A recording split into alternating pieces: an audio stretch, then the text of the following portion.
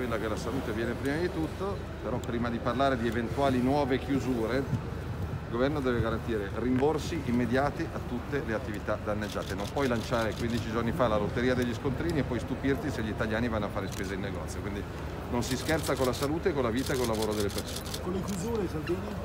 È quello che stavo dicendo. Qualsiasi nuova chiusura deve essere accompagnata da rimborsi immediati sul modello tedesco. Se si invoca il modello tedesco si ricordi che in Germania risarciscono fino all'80% del mancato fatturato.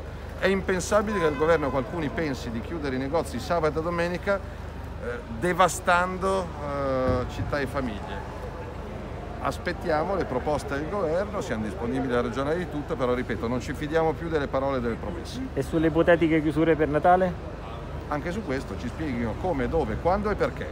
Qua c'è gente che ha prenotato il biglietto del treno, c'è gente che non vede i familiari e i genitori da mesi, eh, l'Italia è la patria dei piccoli comuni, 8 italiani su 10 vivono in piccoli comuni, un conto è dire non ti muovi da Roma dove in ogni caso hai 1300 km quadrati all'interno dei quali muoverti, un conto è chiuderti in casa in Aspromonte o sulle Dolomiti in comuni di 300 abitanti. Quindi la salute è fondamentale ma non può cancellare il diritto alla famiglia, il diritto al lavoro e il diritto all'affetto. Grazie. Grazie, Grazie a voi. Grazie.